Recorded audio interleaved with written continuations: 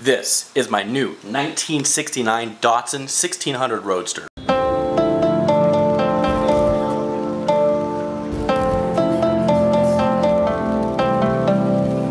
A friend of mine had this 1969 Datsun Roadster and he made an incredible deal with me. I'm going to be building this for the street, doing some occasional road racing, some occasional hill climbs, some smoky burnouts. I'm going to be doing something that has never been done before. It has the original four banger in it you heard it here first. I am going to be putting a flathead V8 inside this Datsun Roadster. I'm going to be stroking the thing to 296 cubic inches, putting three Strombergs on top, and backing the thing with a T5 transmission. This thing is going to be a screamer.